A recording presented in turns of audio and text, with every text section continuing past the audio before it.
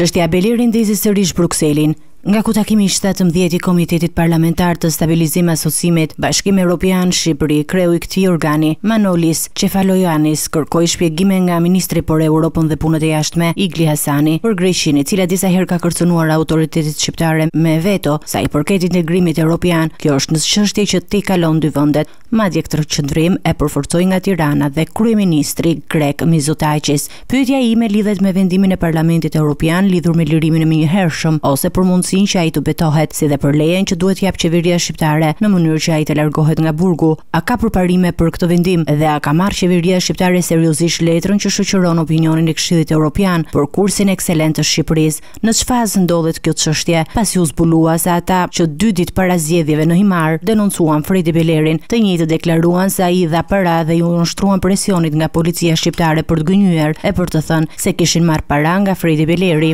Në kundërpërgjigje, ministri Hasani u shpreh se kjo çështje i përket organeve të drejtësisë, të cilat funksionojnë të pavarur nga ekzekutivi. Takimi sot nuk është për çështje personale të dikujt. Beleri nuk është çështje europiane, por e organeve të drejtësisë në Shqipëri. Shqipëria pret t'i bashkohet familjes së Bashkimit Europian. Koha kur gjykata trajtohej si përkatësi partiake ka mbaruar, tha Hasani, gjatë takimit të Komitetit Parlamentar të Stabilizim Asociimit BE-Shqipëri. Ministri Hasani u shpreh gjithashtu se Shqipëria do të vazhdojë në rrugën e reformave, përfshirë atë të drejtësisë. Sipas kryediplomatit shqiptar, rezultatet konkrete janë shënuar nga SPAK lidhur me hetimet që po kryhen për zyrtarë të lartë, si dhe sekuestrimin e konfiskimin e aseteve të eksponentëve të krimit të organizuar. Ne mezi presim hapin tjetër në negociatat tona të pranimit, reforma gjithëpërfshirëse në drejtësi ka vazhduar, duke rezultuar në një progres të mirë në përgjithësi. Procesi i vetingut ka vazhduar të përparojë në mënyrë të qëndrueshme. SPAK ka vijuar veprimtarinë e tij, veçanërisht duke dhënë disa vendime të rëndësishme përfundimtare për çështjen që kanë të bëjnë me zyrtarë të lartë, Por duket se nuk ishin vetëm përfaqësuesit grekë ata të cilët folën për ndërhyrje të qeverisë në sistemin e drejtësisë.